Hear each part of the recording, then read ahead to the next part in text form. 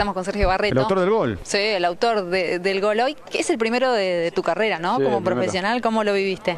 Muy contento, lo venía soñando desde hace mucho y que se me dé acá en el estadio muy, muy lindo. Bueno, faltó la gente, pero ¿cómo, cómo eran esos sueños de decir, bueno, voy a meter mi, primer gol en primera y cómo y qué fue lo que sentiste cuando viste que entró la pelota? La verdad que muy lindo, porque todos mis compañeros me decían, viste, vas a hacer un gol, vas a hacer un gol. No, no me quemé, le decía, viste, pero después lo soñaba todos los días, lo soñaba y por eso se me dio. Y el funcionamiento venían de sumar un punto de cuatro del clásico, de todos los casos de COVID, de toda esta situación que, vivían en la semana. ¿Qué, cambió hoy para, para, poder quedarse con los tres puntos?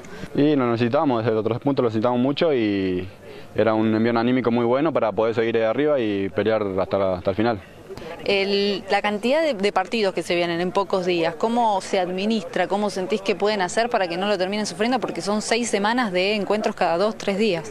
Y la verdad que estamos todos metidos, todos mis compañeros están a full y entrenando y sacando esta lente vamos a poder seguir. Bueno, gracias. Gracias a